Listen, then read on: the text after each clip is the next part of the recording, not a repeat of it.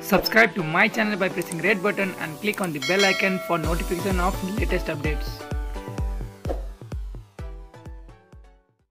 नेकपा दाहाल नेपाल समूहका वरिष्ठ नेता झलनाथ खनालले सर्वोच्च अदालत कुनै राजा महाराजाले खडा नगरेको बताएका छन् उनले सर्वोच्च अदालत कानुन अनुसार चल्ने संस्था भएको बताएका हुन् प्रेस सङ्गठन झापाले वृत्तामोडमा आयोजना गरेको पत्रकार सम्मेलनमा नेता खनालले सर्वोच्च अदालत संविधान र कानुन अनुसार चल्ने संस्था भएको बताएका हुन्। उनले भने सर्वोच्च अदालतले संसद पुनस्थापना गर्छ भन्ने हाम्रो विश्वास छ।